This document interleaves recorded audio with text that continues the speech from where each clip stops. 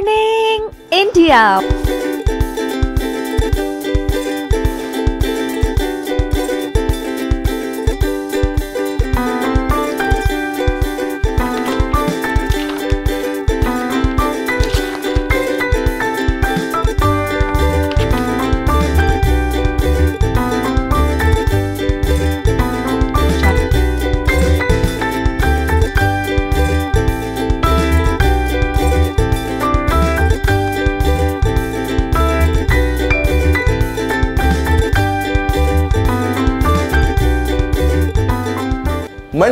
To Friday back to back classes live from studio आज ही subscribe करें wifi study channel को।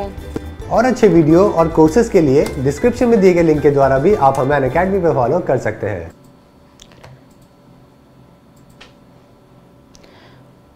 Good morning everyone welcome to WiFi study changing the way of learning तो जैसे कि आज का आपको टॉपिक जो है हमारा वो प्राइजेज एंड अवार्ड्स रहने वाला है, जहाँ पे मैं आपको जितने भी बेसिक्स जैसे जो बेस है ना, वो आपका कंप्लीट करना है। करंट में जो है वो सारे, एक तो आपको करंट अफेयर्स में मिलेगा, जैसे रिसेंटली किसको अवार्ड मिला है और ये सारी चीज़ें। लेकिन उसके अलावा आज का जो है वो बेसिक पार्ट कंप्लीट कर लेते हैं। उसके अलावा जैसे कि कुछ इंपॉर्टेंट इसमें एस्पेक्ट रहेंगे। रिसेंटली अगर किसी को मिलता है, कोई भी चेंजेस होते हैं ना तो वो सारा पार्ट जो है वो फ्राइडे की क्लास में कर लिया करेंगे। नया वीक है, एक बार चीज़ें मैं आपको क्लियर कर देती हूँ वापस। ये क्लास आपकी A L B C P T two के ट्वेंटी क्वेश्चन जो आएँगे और आरपीएफ के जो 50 क्वेश्चन आपको पूछे जाने वाले हैं फ़र्स्ट स्टेज में, उसके लिए आपकी ये पूरी क्लास है यहाँ पे जर्नल अवेयरनेस की। इसके अंदर आपको स्टैटिक जीके वाला पार्ट हमारा चल रहा है है ना? और उसके अलावा स्टैटिक जीके के अलावा जो आगे का सेशन रहेगा वो आपका history polity geography general science के जो सेक्शंस हैं, उसको यहाँ पे हम कवर करने वाले हैं। मंडे ट्यूसडे वेडनेसडे और थर्सडे जो है वो हम नॉर्मल क्लास किया करेंगे। मतलब जैसे 20 क्वेश्चंस 25 और उसकी थोड़ी एक्सप्लेनेशन थ्योरी को लेके। और फ्राइडे की जो हमारी क्लास हुआ करेगी ना फ्राइडे की क्लास में आपको मोस्ट इंपॉर्टेंट 30 क्वेश्चन जो कि एक्सपेक्टेड होंगे और बहुत ज़्यादा इंपॉर्टेंट होंगे। तो हर फ्राइडे जो है ना, वो वाली क्लास हम करेंगे, जहाँ पे हम एक्सपेक्टेड क्वेश्चंस कंप्लीट करेंगे और पूरा हफ़्ते में जो चार दिन करा है टॉपिक उसको कंप्लीट करेंगे, ठीक है? चीज़ें क्लियर हैं? ओके राइट देखिए, अभी अगर हम नोबल प्राइज की या पीस प्राइजेस की या प्राइजेस या अवार्ड्स की बात करते हैं तो एक आपको ब्रॉड डायमेंशन में ये सारी चीज़ें करनी है। एक नोबल प्राइज जो कि हाईएस्ट वर्ल्ड में सबसे हाईएस्ट प्राइज है उसको स्टार्ट करके इंडिया से रिलेटेड कि भारत में जो प्राइजेस दिए जाते हैं, भारत रत्न, जो इंडिया का हाईएस्ट सिविलियन अवार्ड बोला जाता है, उसके अलावा पद्म विभूषण पद्म पद्म भूषण पद्मश्री कलिंगा अवार्ड, ज्ञानपीठ अवार्ड, ये Moorti Devi award, Ramon Magsaysay award, इन सारे अवार्ड्स के लिए आपको पूरा नॉलेज होना चाहिए। एक क्वेश्चन अगर आपको 50 क्वेश्चन आ रहे हैं जनरल अवेयरनेस से रिलेटेड या करंट अफेयर से रिलेटेड एक क्वेश्चन आपको इससे रिलेटेड 100 परसेंट पूछा जाता है। तो ये क्वेश्चंस आपको आरपीएफ में भी लगातार पूछे गए हैं। लास्ट ईयर के जो क्वेश्चंस है ना, उनको हम यहाँ पे करने लगेंगे तो चीज़ें थोड़ी सी समझ आ जाएगी। ओके राइट एक ये जो पीडीएफ के लिए यहाँ पे बोल रहे हो पीडीएफ जो है वो आपको ऑलरेडी ऐप पे मिल जाएगा। देखिए जैसे कि सर ने भी आपको काफ़ी सारी चीज़ें बताई हैं कि चाहे कोई भी कोर्सेज स्टार्ट हो आपके प्लस कोर्सेज भी स्टार्ट हो, कोई दिक्कत नहीं है। लेकिन आपकी क्लासेस रेगुलर मैं 12 बजे आपकी क्लास ले रही हूँ रेगुलर ले रही हूँ इतने टाइम से। इन क्लासेस में जैसे चलता आया है, वैसे ही चलता आएगा। किसी तरीके के कोई चेंजेस नहीं आएँगे। टाइम को लेके कंटेंट को लेके पीडीएफ को लेके कुछ भी इश्यूज़ नहीं आएँगे। पीडीएफ आपकी अभी थोड़ा सा यहाँ पे दिल्ली वाले सेंटर में ना एक्सेस का इशू हो रहा था, इसलिए अपलोड नहीं हो पा रही थी। आज जैसे ही एक्सेस मिला है, तीनों पीडीएफ आपकी एक एमिनेंट पर्सनैलिटी वाली एक कंट्रीज़ और कैपिटल वाली और एक एनालिसिस जो ग्रुप डी का हुआ था 16 तारीख को, उसकी तीनों की पीडीएफ आपको डेट में जाके आपको मिल जाएँगी। 16 तारीख की आप डेट में जाओगे और जिस डेट को ये टॉपिक हुआ है, उस डेट में जाओगे। और जैसे आज ही हम टॉपिक करेंगे, फटाफट जो है वो आपकी पीडीएफ अपलोड हो जाएगी, बिल्कुल इस क्लास के खत्म होने पे, ठीक है? ओके राइट क्वेश्चंस के साथ स्टार्ट करते हैं। हर क्वेश्चन का मैं आपको एक्सप्लेन करने लगूँगी, जो उसके लिए इंपॉर्टेंट होगा। मेरे ख्याल आप चीज़ें, ठीक है? है ना? एक पहला क्वेश्चन देखिए आपकी स्क्रीन पे। सबसे पहले नोबल प्राइज के साथ शुरू करें who. Establish the Nobel prize for economics अर्थशास्त्र में नोबल पुरस्कार की स्थापना किसके द्वारा की गई थी? नोबल प्राइज के बारे में आपको पता है 1895 में एल्फ्रेड नोबल ने ये प्राइजेस जो है वो स्टार्ट किए थे। और इनको स्टार्ट करने का सबसे बड़ा रीजन ये था कि इससे पहले एल्फ्रेड नोबल ने डायनामाइट की आविष्कार कर दिया था। और जब डायनामाइट आविष्कार किया था तो एल्फ्रेड नोबल को बहुत ज़्यादा क्रिटिसाइज किया गया था। बहुत ज़्यादा इनकी आलोचना हुई थी इस चीज़ को लेके कि उन्होंने कोई एक ऐसी चीज़ बना दी कि भाई जिसके लिए दुनिया में तबाही मच जाएगी या इसका गलत इस्तेमाल होगा। उस चीज़ को ध्यान में रखते हुए अब एल्फ्रेड नोवल ने बोला कि डायनामाइट तो बन गया, है ना? उसका तो उन्होंने पेटेंट ले लिया, पूरा इशू करवा लिया। लेकिन उस चीज़ को करेक्ट किया जा सकता है किसी और तरीके से तो उन्होंने नोबल प्राइज बनाना शुरू किए कि भाई जो अपने फ़ील्ड में बहुत अच्छे से काम करेगा, उसको दिए जाएँगे। नोबल प्राइज पाँच चीज़ों के लिए मिलते हैं, है ना? सबसे पहले आपका, देखिए केमिस्ट्री के लिए फिजिक्स के लिए फिजियोलॉजी और मेडिसिन के लिए एक ही रहता है। जैसे कि इस साल इम्यूनिटी के लिए मिला है। इम्यूनिटी कैसे हमारे शरीर में इम्यूनिटी में हेल्प मिलती है, उससे रिलेटेड फिजिक्स में जैसे लेज़र के लिए मिला है, उसके अलावा लिटरेचर में दिया जाता है साहित्य में और पीस प्राइज जो मिलता है हर साल, ठीक है? तो यहाँ पे देखिए, पहले क्वेश्चन में देखिए आपको अगर हम इकोनॉमिक्स की बात करते हैं तो ये वाला जो प्राइस था, ये 1968 में स्टार्ट हुआ था अर्थशास्त्र में, और central bank of Sweden central bank of Sweden जो है, वो इसको पूरा प्रमोट करती है। इसकी जो मनी होती है ना पीस इस वाले प्राइस की इकोनॉमिक्स की, जितना भी पैसा इसमें दिया जाता है, वो सारा का सारा जो है, वो सेंट्रल जो बैंक है ना स्वीडन का, वो इसको एसोसिएट करता है, ठीक है? सर्वेज सर्वेज इसको रिज बैंक हम टर्म करते हैं, ये नाम भी याद रखिएगा, अगर आपको इसकी जगह ये पूछा जाए तो। सर्वेज रिज बैंक, ठीक है, ये इसको पूरा प्रमोट करता है एसोसिएट करता है, जितना भी पैसा होता है इसी बैंक के द्वारा दिया जाता है, ठीक है। थर्टी थ्री हंड्रेड जो इसकी एनिवर्सरी थी, तीन सौवीं जो इसकी वर्षगांठ थी, उस पर इन्होंने इकोनॉमिक्स प्राइज जो थे ना, वो शुरू किए थे। ठीक है, इतना पार्ट क्लियर है। नेक्स्ट क्वेश्चन देखिए यहाँ पे। Nobel prize is not given in which of the following following category Nobel पुरस्कार जैसे मैंने आपको बताया, पाँच चीज़ों के लिए दिए जाते हैं। तो ये जो नीचे दिए हैं, इनमें से किस चीज़ के लिए नहीं दिया जाता है, बताइए? शांति के लिए, चिकित्सा के लिए, अर्थशास्त्र या खेल के लिए। और नोबल प्राइज में एक और डेट हम ऐड करते हैं। पहली बार नोबल प्राइज कब दिए गए थे? 1901 में दिए गए थे, है ना? 1895 में स्टैब्लिश किया गया था एल्फ्रेड नोवल के द्वारा। 1901 में पहली बार दिया गया था और 1968 में अर्थशास्त्र के लिए मिला था यहाँ पे। तो बहुत क्लियर है चीज़ स्पोर्ट्स के लिए नहीं दिया जाता है ये, क्योंकि देखो कॉज याद रखोगे तो शायद ये आंसर याद रहेगा। क्योंकि डायनामाइट एक ऐसी चीज़ बना दी थी ना नोव, अल्फ्रेड नोवल ने, कि उनको लगा कि कुछ ऐसा करना चाहिए जिसके लिए लोगों को उन चीज़ों के लिए अवार्ड मिलना चाहिए। तो लोग थोड़ा सा एक्टिवली पार्टिसिपेट होंगे और अच्छी चीज़ें बनाने की कोशिश करेंगे। जैसे कि हर साल आपको पता है प्राइज बहुत ही बेहतरीन चीज़ों के लिए दिया जाता है। पूरे वर्ल्ड में जो सबसे बेस्ट डिस्कवरी होती है ना उसके लिए वो नोबल प्राइज दिया जाता है। तो उस पॉइंट को याद रख के आपको आंसर करना है तो स्पोर्ट्स ठीक है? स्पोर्ट्स uh, जो है वो आपका करेक्ट आंसर होगा। स्पोर्ट्स में नहीं दिया जाता है। तो आपको डी जो है ना वहाँ पे आंसर टिक करना है। अगला देखिए क्वेश्चन बिल्कुल जी स्पोर्ट्स विनीता कश्यप। स्पोर्ट्स जो है वो आपका करेक्ट आंसर उषा बिल्कुल। 1901 में पहली बार दिए गए थे है ना? पिछले वाले क्वेश्चन का आंसर आपका पहला जो क्वेश्चन था, उसका आंसर है सेंट्रल बैंक ऑफ़ स्वीडन वो पूरा स्पॉन्सर करती है इकोनॉमिक्स के प्राइस को, अर्थशास्त्र के. जितना भी इसमें पैसा सर्टिफिकेट जो दिया जाता है, वो सारा का सारा वो बैंक ही देती है. Sveriges Riksbank Riksbank इसको हम बोलते हैं. दूसरा जो आपकी स्क्रीन पे अभी क्वेश्चन दिखाई दे रहा है, उसका आंसर है स्पोर्ट्स थर्ड क्वेश्चन देखिए who was awarded awarded with the first Nobel prize in economics अर्थशास्त्र में पहली बार किसको प्राइज दिया गया था?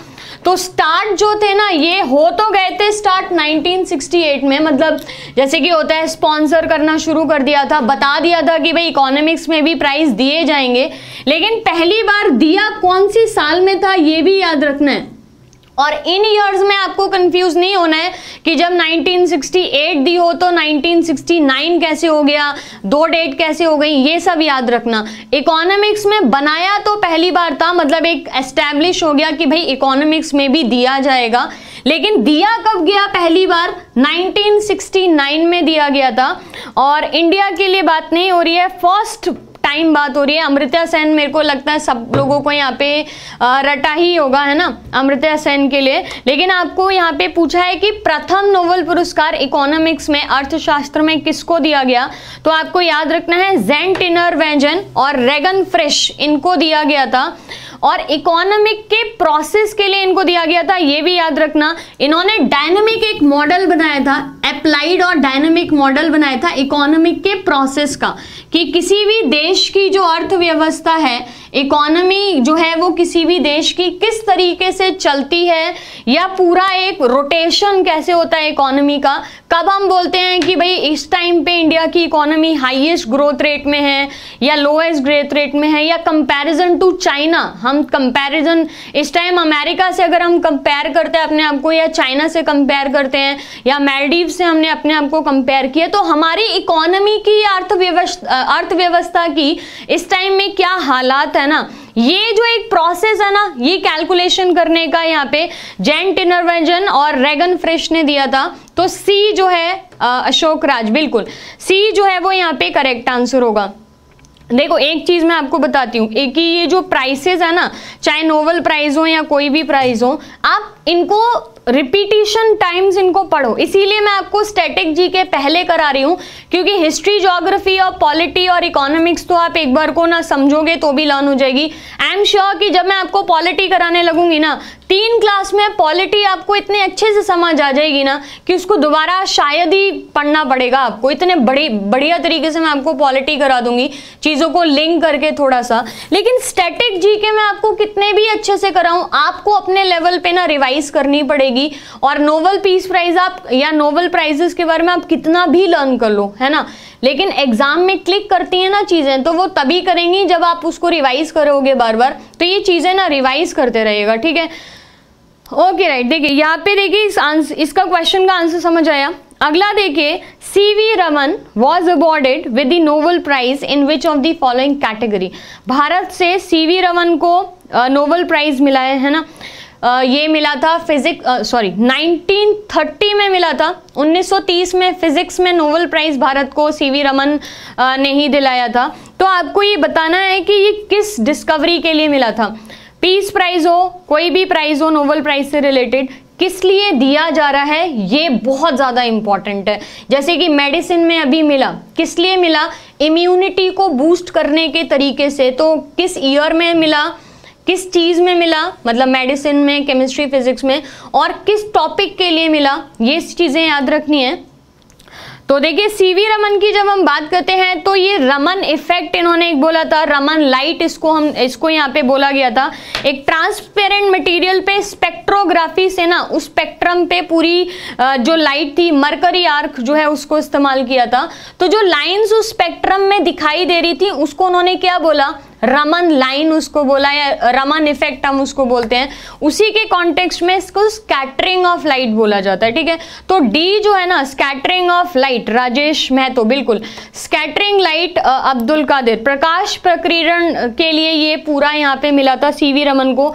ईयर याद रखना है 1930 में ये मिला था। 1901 में मिलना शुरू हुए थे पीस प्राइज और 1930 में सीवी रमन को मिल भी गया भारत में। तो ये याद रखना है, रमन इफ़ेक्ट सूरज कुमार। ठीक है, अगला देखिए question Nobel prize winner Indian Amartya Sen जो काफ़ी लोगों के यहाँ पे फेवरेट हैं। यादें, याद भी है आपको रम, ये अमृत्या सेन जी के लिए। तो यहाँ पे Nobel prize winner Indian Amartya Sen is famous in which of the following field तो मेरे ख्याल ये चीज़ें क्लियर हैं, लेकिन आप मुझे इसके साथ ये बताओगे कि किस साल में अमृत्या सेन को नोबल प्राइज इकोनॉमिक्स के लिए दिया गया था?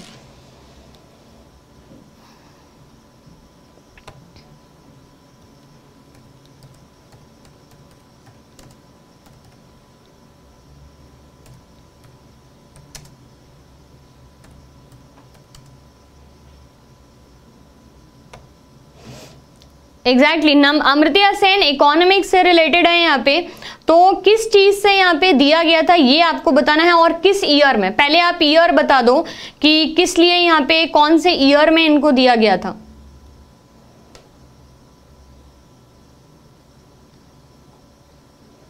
Exactly exactly. इसको जब दिया गया था तो अमृत्या सेन को फेमीन एंड पॉवर्टी एक्सप्लेन करा था उन्होंने।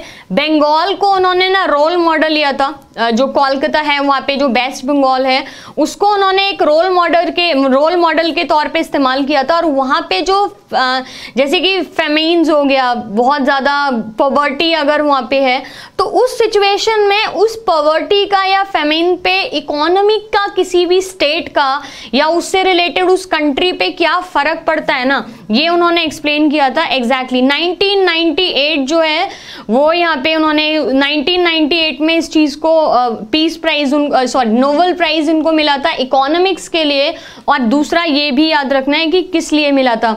फेमीन्स को और पवर्टी को एक्सप्लेन करने के लिए कि उन चीज़ों का किसी भी देश पे या किसी भी राज्य की इकोनॉमी पे क्या फ़र्क पड़ता है, उसके लिए उनको दिया गया था ये इकोनॉमिक्स का प्राइस 1998 राइट अगला देखिए question in which of the following two categories madam Curie got the Nobel prize तो ये चीज़ आपको बहुत अच्छे से पता होगा कि दी मैरी क्यूरी एंड उनके जो हस्बैंड थे पेरी क्यूरी इन दोनों को इकट्ठा भी नोबल प्राइज मिला था और जो मैरी मैडम क्यूरी थी, उनके हस्बैंड की डेथ के बाद उनको अलग से उन्होंने रिसर्च वगैरह शुरू किया। क्लियर है? अब नोबल प्राइज बफरिंग हो गया okay right India receives its first Nobel prize in the field of Bharat को पहला नोबल प्राइज किस क्षेत्र में दिया गया था? बफरिंग हो रहे ठीक हुआ बफरिंग या नहीं? हो गया है ना? चल रहा है ना? चालू है। ओके राइट देखिए, यहाँ पे मैडम क्यूरी वाला जो क्वेश्चन है, उसका आंसर जो है, क्या रहेगा? फिजिक्स एंड केमिस्ट्री जो है वो आपका करेक्ट आंसर रहने वाला है। और आपका यहाँ पे uh, अगला क्वेश्चन जो आपको स्क्रीन पे दिखाई दे रहा है कि भारत का पहला नोबल प्राइज किस क्षेत्र में मिला था? uh, जैसे कि आपको पता है कि किसको मिला था वो मेरे ख्याल सबको पता होगा कि uh, रविंद्रनाथ टैगोर जी को ये पहला नोबल प्राइज दिया गया था 1913 ठीक है ईयर याद करना है। लिटरेचर मेरे ख्याल सबको पता होगा कि लिटरेचर में मिला था। रविंद्रनाथ टैगोर के लिए आपको ये बात भी पता होगी कि he is the only person जिन्होंने दो लैंग्वेज में बंगाली और हिंदी दोनों में उनको लिटरेचर प्राइजेस बहुत जगह पे बहुत बार मिल चुके हैं। तो ये आपको याद रखना है लिटरेचर और इससे ज़्यादा इंपॉर्टेंट है ईयर चालू है ना वो चल रहा है ना?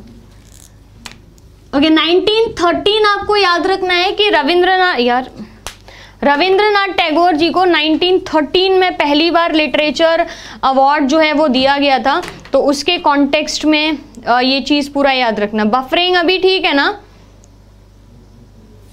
बिल्कुल गीतांजलि के लिए बंगाली एंड हिंदी दोनों लैंग्वेजेस में वो लिखते थे। लिटरेचर प्राइज गीतांजलि के लिए उनको दिया गया था। 1913 1913 ठीक है? Exactly exactly, Suraj Kumar okay right clear है इतनी चीज़? बफरिंग नहीं हो रही है ना? सब कुछ ठीक है ना? ओके okay, अगला देखिए क्वेश्चन यहाँ पे. फ़र्स्ट इंडिया का भारत का पहला नोबल प्राइज था ये uh, जो रविंद्रनाथ टैगोर जी को मिला था. तो अभी जरा यहाँ से बाहर निकल के आते हैं एंड uh, एक बार आगे के क्वेश्चन देखिए. नेक्स्ट क्वेश्चन देखिए यहाँ पे. ग्रैमी अवार्ड सबको पता है? ग्रैमी अवार्ड जो है वो किस चीज़ के लिए दिया जाता है? ग्रैमी पुरस्कार निम्न में से किस क्षेत्र में दिया जाता है? लिटरेचर म्यूज़िक साइंस या डिस्कवरी एंड इन्वेंशन, और ये हाईएस्ट अवार्ड है जिस फ़ील्ड में ये दिया जाता है, उसका ये हाईएस्ट अवार्ड है। बिल्कुल बिल्कुल। देखो ज़रूरी नहीं है आपको क्वेश्चन बिल्कुल, ये आरपीएफ के लिए ही है। और एक चीज़, ज़रूरी नहीं है कि आपको ये क्वेश्चन इसी तरीके से पूछे जाएँगे, जैसे वन लाइनर या जो मैं आपको दे रही हूँ एमसीक्यूज मोस्टली ऐसे क्वेश्चन आपको आते हैं मैच द फॉलोइंग करने के लिए ताकि उनको पता हो कि एक चीज़ों से ज़्यादा के बारे में आपको इन्फॉर्मेशन हो। इसीलिए यहाँ पे हर तरीके का क्वेश्चन फ़र्स्ट तो इंक्लूड किया ही है। रीसेंट वाले भी मैं आपके इंक्लूड कराऊँगी। इसमें जो आ, बहुत ज़्यादा इंपॉर्टेंट होंगे ना कोई डिस्कवरी है जो बहुत इंपॉर्टेंट है जैसे कि ब्रेन मैपिंग बहुत ज़्यादा इंपॉर्टेंट है। ये इसके लिए भी मेडिसिन में मिला था ये प्राइस पूरा। तो ऐसे क्वेश्चन हम हर फ्राइडे को इंक्लूड किया करेंगे तो बेसिक वीक डेज़ में कंप्लीट और फ्राइडे जो हुआ करेगा उसमें मैक्सिमम नंबर क्वेश्चन मैं ट्राई तो यही करूँगी कि 30 से तो ऊपर ही जाएँ लेकिन 30 तो मिनिमम रहेंगे। तो वो फ्राइडे को हम रिवाइज भी करा करेंगे क्योंकि कई सारे बच्चों ने आ, बोला था कि आ, ये रिवीजन भी कैसे होगा क्योंकि कल्चर एक दिन में नहीं हो सकता कंप्लीट कंट्रीज़ या कैपिटल एक दिन में नहीं हो सकते हैं आपको रिवाइज करने पड़ते हैं। तो हर फ्राइडे को जो है ना, तीस से ज़्यादा क्वेश्चन में जो चार क्लासेस हैं, उसका रिवाइज भी क्या करेंगे। ठीक आ रहा है ना चीज़? इसका आंसर आपका क्या रहेगा? म्यूज़िक हाईएस्ट अवार्ड है ये आपका। ग्रेमी जो है, वो म्यूज़िक के फ़ील्ड में सबसे बड़ा अवार्ड जो है, वो दिया जाता है। तो ये चीज़ें याद रखना है। ठीक है, अगला देखिए question in which of the following field the yearly Moorti Devi award is given तो ये किस चीज़ के लिए दिया जाता है? मैं आपको इसके कॉन्टेक्स्ट में कुछ चीज़ें बता देती हूँ। मूर्ति देवी अवार्ड 2003 में शुरू हुआ था यहाँ पे और तीन चीज़ों के लिए ये दिया जाता है, जो एक चीज़ आपको आंसर करनी है यहाँ पे। उसके अलावा उसके अलावा देखिए भारतीय जनपीठ ऑर्गेनाइजेशन जो है वो इस पूरे अवार्ड को ऑर्गेनाइज करती है और इसके होते हैं तीन या चार पूरे तीन तीन अवार्ड्स इसके बेसिकली मेन होते हैं, जिसमें से एक है मूर्ति देवी अवार्ड मतलब ज्ञानपीठ और जनपीठ है, वो हाईएस्ट है। लिटरेचर में, है ना? उसके अंडर में तीन अलग अलग तरीके के और अवार्ड्स आते हैं, जिन तीनों को यहाँ पे आज की क्लास में इंक्लूड किया है। तो मूर्ति देवी अवार्ड आपको याद रखना है, लिटरेचर के लिए दिया जाता है, अशोक राज, बिल्कुल। लिटरेचर के लिए इसको दिया जाता है तो ये चीज़ आप याद रखिएगा 2003 में। उसके अलावा, जो लिटरेचर यहाँ पे उन इंडियंस को उन इंडियंस की लिटरेचर के लिए दिया जाता है जो भारत के कल्चर या यहाँ की साहित्य से रिलेटेड या फिर जो इनकी, यहाँ की भारत की जो फिलॉसफी है या भारत का जो पूरी संस्कृति है, उसके ऊपर जो साहित्य लिखते हैं, उन लोगों को ये खासकर दिया जाता है। तो ये चीज़ थोड़ा सा आप याद रखिए, ठीक है? आपका ए जो है वो करेक्ट आंसर होगा लिटरेचर अगला देखिए क्वेश्चन साहित्य में दिया जाता है। देखो, एक चीज़ आप याद रखो, भारतीय ज्ञानपीठ पुरस्कार या जनपीठ पुरस्कार जो है वो मेनली दिए जाते हैं लिटरेचर को लिटरेचर के लिए। हाईएस्ट अवार्ड है ये भारत का लिटरेचर में दिया जाने वाला, साहित्य में दिया जाने वाला। अब ये अलग अलग कैटेगरी में डिवाइड कर दिया गया है कि जो आदमी फिलॉसफी या फिर अपने संस्कृति के ऊपर लिटरेचर या साहित्य लिखेगा, उनको क्या दिया जा रहा है? मूर्ति देवी अवार्ड जो कि 2003 में शुरू किया था, ठीक है? तो अगला देखिए क्वेश्चन यहाँ पे। अगला उसी से related in which of the following field the Jnanpith award is given Jnanpith पुरस्कार किस क्षेत्र में प्रदान किए जाते हैं, बताइए। रविंद्र शर्मा। बिल्कुल पीडीएफ की देखो टेंशन मत लो। पीडीएफ का मैंने आपको बता दिया कि पीडीएफ का थोड़ा सा एक्सेस को लेके इशू था दिल्ली वाले में। आज जैसे ही एक्सेस ये पूरा कंप्लीट हुआ है, आपकी तीनों PDF eminent personalities country capital और उसके अलावा आपकी ग्रुप डी का 16 तारीख को जो एनालिसिस हुआ था, वो तीनों पीडीएफ आपकी वाईफाई स्टडी ऐप पे डल चुकी हैं। आप वाईफाई स्टडी ऐप देखो, जो लोग न्यू सब्सक्राइबर हैं, उनके लिए भी मैं बता दूँ वाईफाई स्टडी ऐप आपको डाउनलोड करना है। वहाँ पे जाके आपको रेलवे के सेक्शन में डेट वाइज सारी पीडीएफ मिलती जाएँगी। ठीक है? आज से पीडीएफ एक तरीके से जाएगी। मतलब क्लास के तुरंत के बाद ही, तुरंत आधे एक घंटे के अंदर आपकी पीडीएफ जो है वो अपलोड हो जाएगी। ये इस चीज़ का पूरा ध्यान में रखा जाएगा। मेरे ख्याल चीज़ें ठीक है यहाँ पे। देखिए, ज्ञानपीठ पुरस्कार किस क्षेत्र में प्रदान किया जाता है आपका? तो अगर यहाँ पे ऑप्शन वाइज देखिए, जैसे मैंने आपको बताया लिटरेचर हिस्ट्री थिएटर या डांस तो बिल्कुल ठीक है। रोहित सिंह, बिल्कुल। चीज़ें ठीक आ रही हैं, समझ। लिटरेचर जो है वो आपका आंसर जो है वो करेक्ट आंसर होगा। तो ये चीज़ थोड़ा सा याद रखिएगा। साहित्य में दिया जाता है ज्ञानपीठ पुरस्कार, है ना?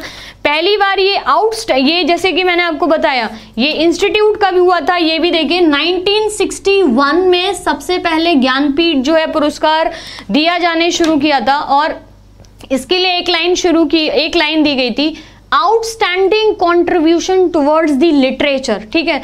जिसका एकदम अद्भुत तरीके का काम होगा साहित्य में, उसको ज्ञानपीठ पुरस्कार जो है वो दिया जाता है।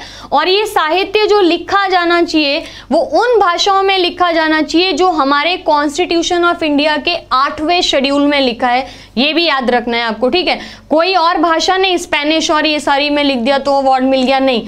जो हमारे कॉन्स्टिट्यूशन ऑफ़ इंडिया में जो भाषाएँ लिखी हुई हैं उन्हीं भाषाओं में लिखे जाने वाले साहित्य को ये पुरस्कार दिया जाता है। तो ये चीज़ थोड़ा सा आपको याद रखनी है। प्लस इंग्लिश भी इसमें इंक्लूड करी जा रही है। तो ये चारा, ये सारा, ठीक है? 1961 ईयर आप याद रखना। अगला देखिए क्वेश्चन यहाँ पे। Who was the first recipient of Jnanpith award सर्वप्रथम ज्ञानपीठ पुरस्कार के विजेता कौन है? के वी पुट्टम जी शंकरा कुरूप ठाकजी शिव शंकर पिल्लई या फिर वासुदेवन अय्यर बिल्कुल आ, मेरे ख्याल क्वेश्चन से पहले ही आंसर दिया है तो सूरज कुमार फ़र्स्ट जो है वो जी शंकर कुरूप जो है वो आपके करेक्ट आंसर है यहाँ पे। लिटरेचर के लिए पूरा अवार्ड जो है वो दिया गया था। अब जब हम यहाँ पे हमने फ़र्स्ट रेसिपिएंट की बात की है तो आपको फ़र्स्ट वुमेन रेसिपिएंट की भी बात पता होना चाहिए कि पहली भारतीय महिला कौन थी जिनको मिला था। तो नेक्स्ट क्वेश्चन देखिए यहाँ पे। Who was the first women to get Jnanpith award in India Jnanpith पुरस्कार से सम्मानित प्रथम महिला भारत की कौन थी बताइए? किसको दिया गया था ये भारत में? 1976 में आपको ईयर बता देती हूँ। 1976 में इनको पद्मश्री भी मिला था, जो इनका आंसर है। बिल्कुल, आपका यहाँ पे आंसर जो है वो क्या रहेगा? फ़र्स्ट रेसिपियंट ऑफ़ ज्ञान ज्ञानपीठ पुरस्कार की अगर हम बात करेंगे तो पहला जो मिला था, वो मिला था जी शंकरा जी शंकर कुरूप को। और पहली वुमेन की हम अगर बात करेंगे तो आशा पूर्णा देवी, बिल्कुल। डी जो ऑप्शन है, वो बिल्कुल ठीक है। आशा पूर्णा देवी, ठीक है? आशा पूर्णा देवी आपको याद रखना है डी ऑप्शन। महादेवी वर्मा अपने आप में लिटरेचर के लिए बहुत ज़्यादा फ़ेमस हैं। इनकी जो पोएम्स हैं आपने हिंदी साहित्य में पढ़ी होंगी ना नाइन्थ टेंथ क्लास में बहुत ज़्यादा। तो लेकिन आपका यहाँ पे करेक्ट आंसर जो है ना वो आशा पूर्णा देवी होगा। नीरज सोन बिल्कुल। आ, इनको 1976 में पद्मश्री के साथ भी सम्मानित किया गया था इसलिए ये और भी ज़्यादा इंपॉर्टेंट है। तो ये आपको याद रखना है ठीक है? अगला देखिए क्वेश्चन यहाँ पे। Who gives the Kalinga prize कलि नहीं मेगा से अवार्ड्स है ना Magsaysay award is presented on which of the following name तो जो मेगा से पुरस्कार दिए जाते हैं, जो जो अभी हमारे दिल्ली के चीफ मिनिस्टर हैं अरविंद केजरीवाल जी, उनको भी ये मेगा से अवार्ड जो है वो मिला हुआ है। तो ये जो मेगा से अवार्ड दिया जाता है ना 1957 में स्टार्ट किए गए थे मेगा से अवार्ड ये किसके नाम पे दिए जाते हैं? इंडोनेशिया के राष्ट्रपति के नाम पे, थाईलैंड के राष्ट्रपति के किंग के नाम पे, फिलीपींस के नाम फिलीपींस के पूर्व राष्ट्रपति के नाम पे या फिर ऑस्ट्रेलिया के। कंचन प्रजापति, बिल्कुल फिलीपींस जो है, रवि महतो, आपका सी जो है वो करेक्ट आंसर होगा यहाँ पे। 1957 जो इसके ट्रस्टी थे, वो रॉक फेलर ब्रदर्स को बोला जाता है यहाँ पे, जो कि न्यूयॉर्क में, एक न्यूयॉर्क में उनकी कंपनी थी, वो उससे फिलीपींस गवर्नमेंट से एसोसिएट होके या थोड़ा सा कहते हैं कि प्रभावित होके रमन मेग से अवार्ड जो है वो स्टार्ट किया था। जो फिलीपींस के पूर्व राष्ट्रपति यहाँ पे बोला जाता है, ठीक है? तो इंडिया के काफ़ी सारे लोगों को मिला है इंक्लूडिंग अरविंद केजरीवाल जी। तो ये चीज़ आपको याद रखना है यहाँ पे। ये दिया जाता है कि जिन्होंने अपने फ़ील्ड में हट के कुछ काम किया हो मतलब सोसाइटी के लिए कुछ अच्छा काम किया हो तो उनके लिए ये दिया जाता है। राइट अगला देखिए क्वेश्चन यहाँ पे। Who gives the Kalinga prize पहली बात कलिंगा प्राइज किस चीज़ के लिए दिए जाते हैं, ये आप बताएँगे। और कौन देता है? यूनेस्को उड़ीसा या फिर आपका यहाँ पे other option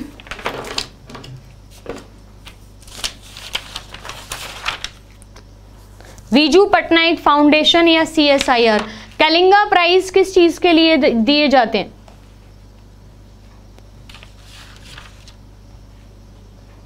बिल्कुल बिल्कुल। फिलीपींस जो है वो करेक्ट आंसर होगा। ये कलिंगा प्राइज बताइए यहाँ पे।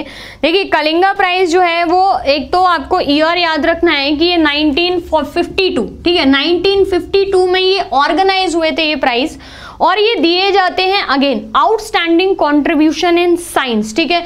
कोई भी ऐसी डिस्कवरी किसी ने की हो या कोई भी ऐसी खोज है या कह सकते हैं कि इन्वेंशन है साइंस में जो चीज़ें बहुत ज़्यादा खोजी गई हो या बहुत पॉपुलर हो गई हूँ सीधा सीधा मैं आपको बोलती हूँ, साइंस में डिस्कवरी तो हर दिन होती है, हर दिन पेटेंट बनते हैं, लेकिन कोई ऐसी चीज़ जो बहुत ज़्यादा पॉपुलराइज हो गई हो, बहुत फ़ेमस हो गई हो तो उसके लिए जो है ना कलिंगा प्राइज जो है वो दिया जाता है।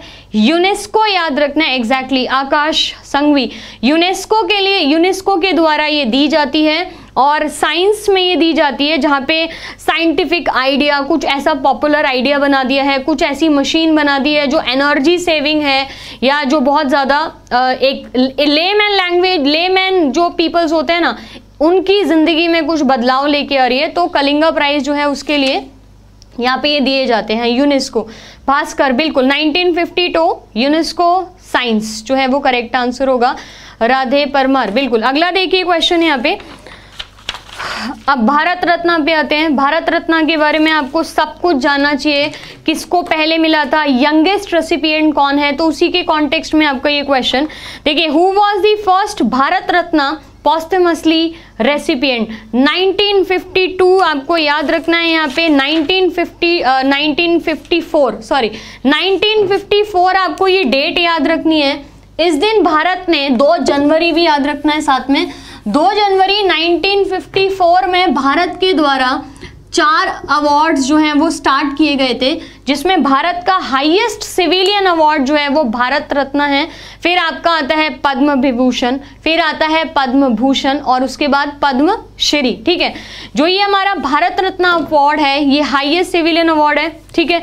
इसमें जो अभी तक बोला जाता है कि 45 लोगों को ये भारत रत्न अवार्ड मिला है जिसमें आपको याद रखना है कि आ, सबसे पहले किसको मिला था? तीन लोगों को इकट्ठा दिया गया था ये सबसे पहले। दूसरा पौस्तमसली मरने के बाद मृत्युपरांत के बाद ये किसको मिला था? और ये यंगेस्ट कौन है? ये क्वेश्चन जो आपको पूछा है कि पहला मरणोपरांत भारत पुरस्कार किसको दिया गया था? तो आपका यहाँ पे आंसर क्या रहेगा? C L B S Lal Bahadur Shastri ji को यहाँ पे ये सबसे पहला जो मरणोपरांत जो पुरस्कार मिला था, वो मिला था। दूसरी चीज़ आपको याद रखनी है कि लाल बहादुर शास्त्री से रिलेटेड ठीक है? सारी चीज़ें आपको इंग्लिश प्लीज़ इंग्लिश हिंदी दोनों आई गेस मैं इस्तेमाल करी हूँ। तो आपका ये पहला जो पॉस्टमस्ट रेसिपिएंट जो थे, वो लाल बहादुर शास्त्री जी थे। उसके अलावा आपको याद रखना है 1966 में इनको मिला था, है ना? 1966 में दूस यंगेस्ट रेसिपिएंट जो है, वो सचिन तेंदुलकर हैं। 40 साल की उम्र में सचिन तेंदुलकर को भारत रत्न जो है, वो मिल चुका है। तीसरी चीज़ आपको याद रखनी है, सबसे लास्ट में जो है, वो मदन मोहन मालवीय और अटल बिहारी वाजपेयी जी को 2014 में भारत रत्न अवार्ड मिला था। उसके बाद अभी तक किसी को भारत रत्न अवार्ड नहीं मिला है। 45 टोटल लोगों को मिला है, जिसमें से 12 लोग जो हैं उनको मरणोपरांत यहाँ पे मिला है। इसमें एक इंपॉर्टेंट चीज़ जो आपको याद रखनी है कि इसमें जो अवार्ड मिलता है ना, उसमें जो ये अवार्ड भारत रत्न में दिया जाता है, उसकी शेप जो है ना, वो जो पीपल का जो एक पेड़ होता है है ना? तो पीपल का जो पेड़ है, उसका जो पत्ता होता है उसकी तरह उसका ये जो पूरा सिंबल है, ये दिया जाता है। तो आपको एग्ज़ाम में ये क्वेश्चन बहुत सारे वनडे एग्ज़ाम में पूछा गया है कि जो एक मेडल है, वो पीपल के पत्ते की शेप में है किसका? तो आपको याद रखना है, भारत भारत रत्न आपको याद रखना है, ठीक है? भारत रत्न अवार्ड जो है, एक 2014 ठीक है? ठीक है यहाँ पे? इतना चीज़ समझ आया इससे रिलेटेड अगला देखिए यहाँ पे question who was the first non Indian to conferred with Bharat Ratna दो लोगों के नाम याद रखने हैं। और ये अकेले ऐसे पहले तो देखिए यहाँ पे आपको डेट्स इनके पता होना चाहिए। भारत रत्न प्राप्त करने वाले प्रथम गैर भारतीय कौन थे? Dalai Lama, Annie Besant, Nelson Mandela या खान अब्दुल गफार खान?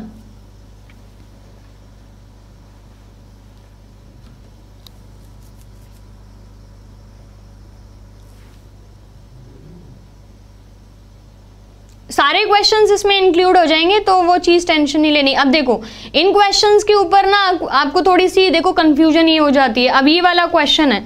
नेल्सन मंडेला आप लोग मैक्सिमम लोग जो है ना, वो आंसर करने लग रहे हो। लेकिन आपको याद रखना है कि खान अब्दुल गफार खान, ये भी ये पाकिस्तान के थे, ठीक है? और इनको कन्फर्ड किया गया था जब प्राइज तो उस टाइम ये पाकिस्तान के सिटीजन थे और 1987 में सबसे पहले नेल्सन मंडेला को दिया गया था और खान अब्दुल गफ्फार खान को 1980 1990 में यहाँ दिया गया था। तो सिर्फ़ तीन साल का डिफरेंस है। ये भी आप थोड़ा सा ना यहाँ पे याद रखना, ठीक है? यहाँ पे जो आपका करेक्ट आंसर है ना ये आपका आएगा यहाँ पे ये खान अब्दुल गफ्फार खान, ठीक है? Nelson Mandela was the second non Indian जिनको ये मिला था और तीन साल के डिफरेंस में बस ये मिल गया था 1987 में खान अब्दुल गफ्फार खान और 1990 में नेल्सन मंडेला। तो खान अब्दुल गफ्फार खान जो है, वो यहाँ पे करेक्ट आंसर होगा, ठीक है? अगला देखिए क्वेश्चन है यहाँ पे फ्रंटियर ऑफ़ गांधी एग्जैक्टली ये चीज़ें आपको थोड़ी सी याद रखनी है, और जब आपको चीज़ें बोली जाती है ना तो थोड़ा सा आप इनको कोरिलेट करिए। इट्स इट्स जैसे एमओ प्रिंस मिश्रा बिल्कुल फ्रंटियर ऑफ़ गांधी खान खान अब्दुल गफ्फार खान को फ्रंटियर ऑफ़ गांधी जी भी बोला जाता है ना। अगला देखिए question who got the first Bharat Ratna? तो अब यहाँ पे एक चीज़ याद रखनी है पहली बार भारत रत्न जब दिया गया था तो तीन लोगों को मिला था है ना? अब ये जब आप ऑप्शन देखोगे तो इन तीन में से किसी एक का भी नाम याद हो ए, एक का ही नाम लिखा होगा तो आपको ये तीनों नाम याद होना चाहिए। पहले आप आंसर बताइए। Jawaharlal Nehru G V Pant B C Roy या सीवी रमन? पहली बार जो भारत रत्न दिया गया था वो किन को मिला था जो ऑप्शन है उनमें से? मदर टेरेसा को मिला था, लेकिन मदर टेरेसा को सिटीजनशिप दे दी गई थी। She was not an Indian लेकिन उनको ना सिटीजनशिप मिल गया था और उनकी जो सिटीजनशिप थी ना, वो बहुत ज़्यादा कंट्रोवर्सी कंट्रोवर्सी में रही थी। आज की भी डेट में मदर टेरेसा को उनके होम टाउन के लोग क्लेम करते हैं कि वो अभी भी वहीं की हैं, लेकिन एज एन हम लोगों को पता है कि उन्होंने भारत में आके उन, उसकी सिटीजनशिप ले ली थी। तो ये थोड़ा सा यहाँ पे चीज़ों के लिए। ओके राइट देखिए यहाँ पे रा, सी राजगोपालचारी एस रा, एस राधा कृष्णन और सी वी रमन। 1954 जैसे मैंने आपको बताया कि भारत रत्न अवार्ड मिलना शुरू हुए थे। तो इन तीन लोगों को सबसे पहले मिले थे। अब तीनों चीज़ें तो ऑप्शन में नहीं आएँगी। सी राजगोपालचारी और मैक्सिमम लोगों को ना सी राजगोपालचारी याद रहता है। तो आपको तीनों नाम याद रखने हैं। C Rajagopalachari C V Raman और एस राधा कृष्णन तीनों नाम आप याद रखिएगा और इस क्वेश्चन के हिसाब से आपका आंसर क्या जाएगा? डी ऑप्शन जो है वो करेक्ट जाएगा। मतलब सीवी रमन जो है वो करेक्ट आंसर होगा. अगेन रमन इफ़ेक्ट के लिए यहाँ पे इनको जो जो भारत रत्न दिया गया था, वो रमन इफ़ेक्ट की डिस्कवरी के लिए दिया गया था. तो मेरे ख्याल ये चीज़ क्लियर है. ऐसे देखो क्वेश्चंस मुझे पता है कि जितने लोग यहाँ पे देख रहे हैं, उनमें से 99 परसेंट लोगों को इन सारे क्वेश्चंस के ना आंसर आपको पता होते हैं. चीज़ें सुनी भी होती हैं। सबको पता है कि भाई सी राजगोपालचारी हैं या सी वी रमन है। लेकिन जब क्वेश्चंस आपको दिए जाते हैं ना तो उसमें बस ये ना हो कि सी राजगोपालचारी आपको नहीं दिया तो आपने उसको और ध्यान से नहीं देखा है। तो क्वेश्चंस को थोड़ा यहाँ पे ध्यान से देखना है, अच्छे से आंसर करना है है ना? चीज़ें समझ आ रही है ना ये सारी चीज़ें। मेरे ख्याल जो चीज़ मैं आपको एक्सप्लेन करने की कोशिश कर रही हूँ, वो सारी चीज़ें समझ आ रही हैं। इन क्लासेस में आपको मैं बेसिक जैसे फ़र्स्ट क्या था, कब दिया, कब शुरू हुआ, और जो फ्राइडे की क्लास हुआ करेगी ना, उसमें लेटेस्ट के लेटेस्ट क्वेश्चन रिसेंटली किसको मिला, या फिर रिसेंटली नोबल प्राइज किसको मिला है, उसकी मैं आपको स्लाइड दिखा के तैयार करूँगी, ताकि चार दिन का वो और पाँचवें दिन का रिविजन करके परफेक्ट तरीके से ना आपकी स्टैटिक जी के पार्ट खत्म हो जाए। और एक चीज़ और, एक चीज़ आपकी ये कि आपकी सीबीटी पार्ट टू में एनवायरमेंटल साइंस एक अलग से टॉपिक दिया है जो थोड़ा सा ना फिजिक्स को लेके केमिस्ट्री को लेके और बायो को लेके तीनों को मिक्स करके जो एनवायरमेंटल प्रॉब्लम होती हैं, पर्यावरण की, प्रदूषण और उससे रिलेटेड तो वो टॉपिक भी मैं आपको कराऊँगी स्टैटिक जी के खत्म होने के बाद। ठीक है यहाँ पे? ओके राइट अगला देखिए question who instituted the Moorti Devi award Moorti Devi award जो है वो किसके द्वारा या कौन सी संस्था है जो मूर्ति देवी अवार्ड प्रदान करती है? मानव संसाधन विकास विकास मंत्रालय, साहित्य अकेडमी भारतीय ज्ञानपीठ संगठन या Bharatiya Vidya Bhavan.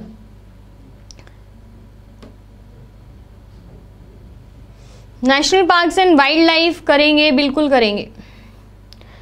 Okay right देखिए, मूर्ति देवी अवार्ड वापस से मैं आपको बता दूँ, यहाँ पे कि ये एनुअल लिटरेरी अवार्ड है। साल में एक बार दिया जाता है। वापस से लिटरेचर के ऊपर ही अवार्ड दिया जाता है। जब ये स्टार्ट हुआ था ना 2003 में, तब इसमें एक लाख रुपया दिया जाता था। लेकिन थोड़ी सी जैसे पैसों की वैल्यू बढ़ गई और आदमी जब इतने मेहनत से काम करता है तो चीज़ों में प्लस आना चाहिए ताकि मोटिवेशन मिले यहाँ पे।